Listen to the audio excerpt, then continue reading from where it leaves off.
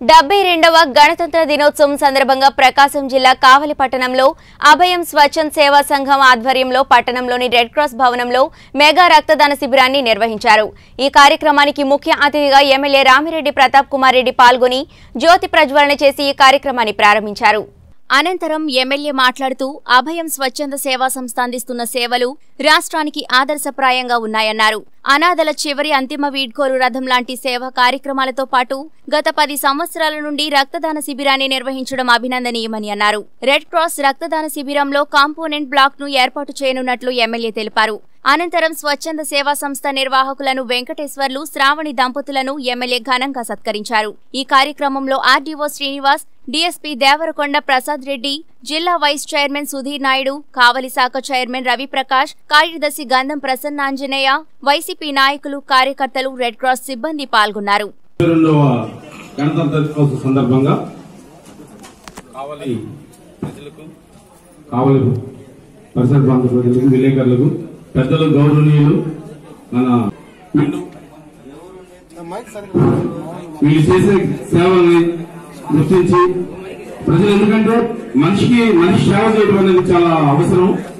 ఆ సేవలోనే ఒక మంచి తృప్తి వస్తుంది. ఆ తృప్తిలో తృప్తిలో సేవ చేసే వాళ్ళకి ఉండేది ఏంటంటే మెయిన్ తృప్తి ఉంటుంది.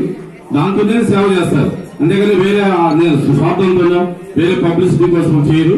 అట్లా ఈ సేవ సంస్థ అనాథ సేవలకైతేనేమి మీ వివిధ వివిధ కార్యక్రమాల్లో పార్టిసిపేట్ చేస్తున్న ఆ సంఘ సభ్యులందరూ కూడా పేరు పేరున ధన్యవాదాలు తెలియజేస్తున్నాను. టీవీఎస్ గారికి వాళ్ళ మిత్రబృందానికి అందరికి మీడియా సోదరు అందరికీ కూడా ధన్యవాదాలు.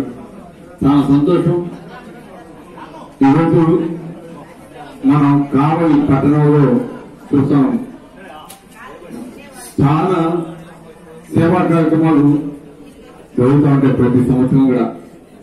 అందులో ముఖ్యంగా చెప్పుకోవాల్సిన సంస్థ అభయ స్వచ్ఛంద సేవా సంస్థ. ఈరోజు కావలి పట్టణంలో ఎవరైనా చనిపోయినా కూడా వాళ్ళని తీసుకెళ్ళి శ్మశానంలో దహన సంస్కారాలు చేసేదానికి ఒక వాహనాన్ని కూడా ఈ సేవా సంస్థ ఉచితంగా ఇవ్వడం జరిగింది. అంతేకాకుండా అనేక మంది గారు తహసీల్దారు స్వచ్ఛంద సేవా సంస్థ ప్రముఖులు విలేకరులందరూ కూడా రిపబ్లిక్ డే శుభాకాంక్షలు. మార్నింగ్ ఈ ఏరియాలో వాకింగ్ ఆరు గంటల చేస్తూ కూడా చూస్తాం కూడా ఒక ఫెస్టివ్ ఎన్విరాన్మెంట్ అంటే పండగ వాతావరణం నాకు ఆశ్చర్యం అనిపించింది ఏమంటే ఇందులో ఎటువంటి లాభం ఉండదు. పెయినే తప్ప గెయిన్ ఉండదు. అయినప్పటికీ కూడా అందరూ హార్ట్ఫుల్గా మన రెడ్ క్రాస్ సంస్థ సభ్యులు అదేదో ఉగాది రోజు దసరా రోజు తెల్లవారుజాము లేస్తేనే ఒక ఆనందకరమైన వాతావరణంలో పనిచేస్తారు.